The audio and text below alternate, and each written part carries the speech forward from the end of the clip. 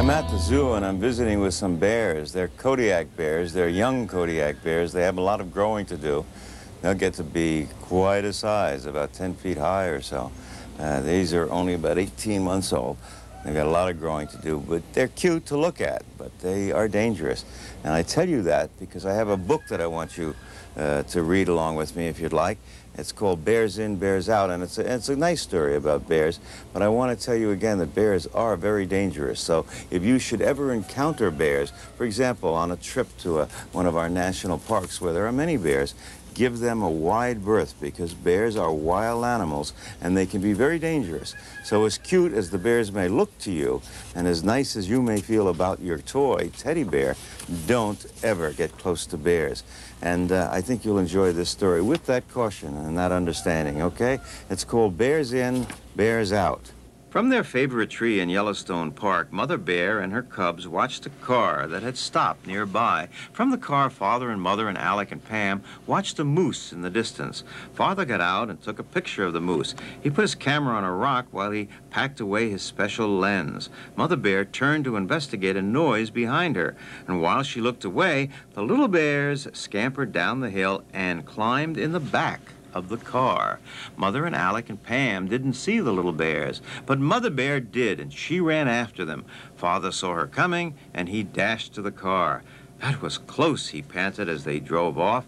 Mother Bear loped after them, but the car with her cubs speeded out of sight. She went back to the tree and paced around and around. The little bears were having their first ride. They huddled close to the floor behind the luggage. After a bit, they stretched up and looked out the windows. They stuck their noses against the glass. It was fun riding.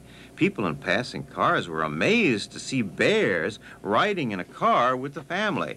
When the family stopped for a quick look at Castle Geyser, almost everyone stared at their car, but the family was so busy looking at the scene, they didn't realize it. Pam folded the blanket into its case and tossed it behind the luggage. It hit both little bears on the head. They were frightened and huddled together on the floor.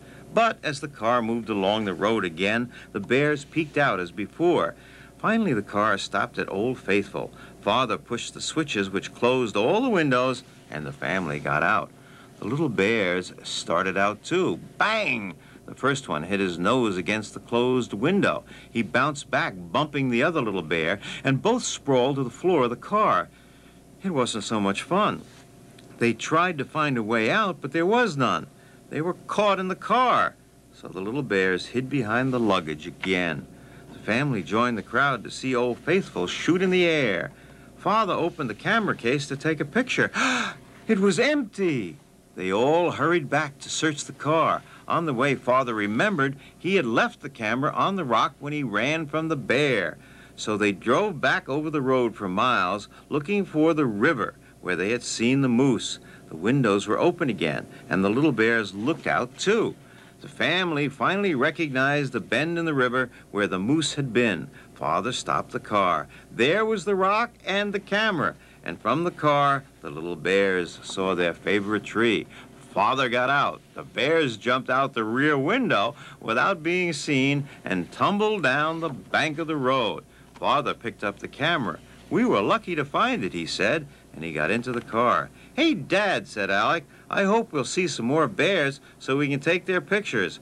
I wish we'd see some cubs, said Pam as they drove away. The car disappeared. The little bears scrambled up the hill to their favorite tree. back in the woods, Mother Bear heard them coming. She rushed out and met them with a big bear hug. Bears in, bears out. Why don't you try looking for that in the library, and then you can look at the pictures or read the story yourself and enjoy it. And lots of other books for you to enjoy there. Once again, remember, bears kind of look cute, and teddy bears are nice to hug as toys when we go to bed, but the real thing, no, sir, give them wide berth, all right? Promise me? Thank you.